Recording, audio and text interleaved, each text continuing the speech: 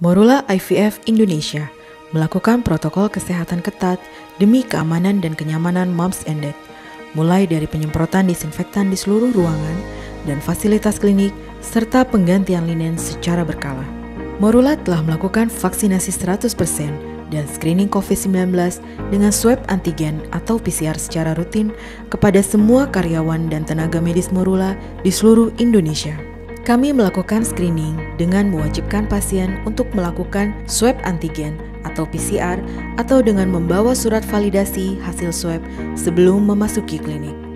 Kami juga memberikan masker KN95 kepada setiap pasien yang datang demi keamanan dan kenyamanan moms and dad dalam berjuang mendapatkan buah hati di seluruh cabang Morula. Sekarang, moms and dad tidak perlu khawatir karena kami selalu mengutamakan keamanan dan kenyamanan Anda.